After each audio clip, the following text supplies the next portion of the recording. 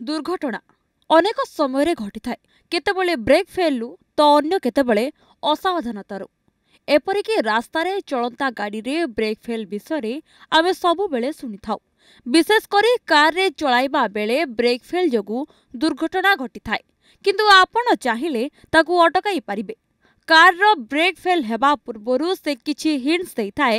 ଯଦି ଆପଣ ଏହି ଉପରେ ନଜର ପକାନ୍ତି ତେବେ ଆପଣ ଯେକୌଣସି ଜରୁରୀକାଳୀନ ପରିସ୍ଥିତିରୁ ରକ୍ଷା କରିପାରିବେ। ଆସନ୍ତୁ ଜାଣିବା ଏପରି ପରିସ୍ଥିତିରେ ଆପଣ ନିଜକୁ କିପରି ରକ୍ଷା କରିପାରିବେ। ପୂର୍ବରୁ କାର୍ ବ୍ରେକ୍ ବିଷୟରେ କାର୍ କାର୍ ଚାଳକଙ୍କ ମୌଳିକ ଜ୍ଞାନ ରହିବା ଦରକାର। କାର୍ର ଚକରେ ବ୍ରେକ୍ ରହିଥାଏ ଏବଂ ଏହା ଦୁଇ ପ୍ରକାରର ଯାହାର ନାମ ଡ୍ରମ୍ ଓ ଡିସ୍ ରହିଥାଏ।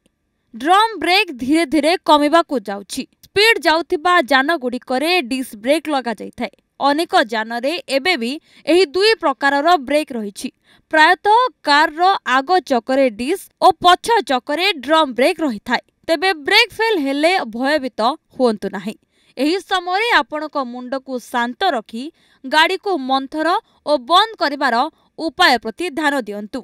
କାର୍ରେ ଦୁଇଟି ଯାକ ବ୍ରେକିଂ ସିଷ୍ଟମ ବନ୍ଦ ହେଲେ ଏହା ସମ୍ପୂର୍ଣ୍ଣ ବ୍ରେକ୍ ଫେଲ୍ ହୋଇଯାଏ। ଆଗ ଚକ କି ପଛ ଚକ ସିଷ୍ଟମ ଯଦି ଠିକ୍ ଥାଏ ତେବେ ଆପଣ କାର୍ର ବ୍ରେକ୍ ଦେଇପାରିବେ। ତେଣୁ କାର୍କୁ କ୍ରମାଗତ ଭାବରେ ଦବେଇ ଚାଲିବେ ଯେତେବେଳେ ଯାଏ କାର୍ଟି ରହିଯାଇ ନାହିଁ।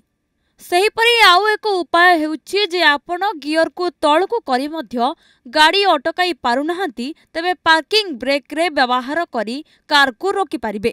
କାରଣ ଏହା ଗାଡ଼ିକୁ ମନ୍ଥର କରିବାରେ ସାହାଯ୍ୟ କରିଥାଏ। ପାର୍କିଂ ବ୍ରେକ୍କୁ ଅଧିକ ମାତ୍ରାରେ ପ୍ରୟୋଗ କଲେ ଦୁର୍ଘଟଣାର ଶିକାର ହୋଇଥାଏ। ସେଥିପାଇଁ କମ୍ ବ୍ୟବହାର କରି ଗାଡ଼ିକୁ ରୋକିବାକୁ ଚେଷ୍ଟା କରନ୍ତୁ। ତେବେ ଆପଣ କାର୍କୁ ମନ୍ଥର କରିବା ପାଇଁ ମଧ୍ୟ ଇଞ୍ଜିନ୍ ବ୍ରେକ୍ର ବ୍ୟବହାର କରିପାରିବେ। ଏଥିପାଇଁ ଆପଣଙ୍କୁ ତ୍ୱରାନ୍ୱିତ ପେଡାଲକୁ ମୁକ୍ତ କରି ଗିଅରକୁ ତଳକୁ କରିବାକୁ ହେବ ଯାହାଦ୍ୱାରା କାର୍ର ଗତିକୁ ହ୍ରାସ କରିବାରେ ସାହାଯ୍ୟ କରିବ engine.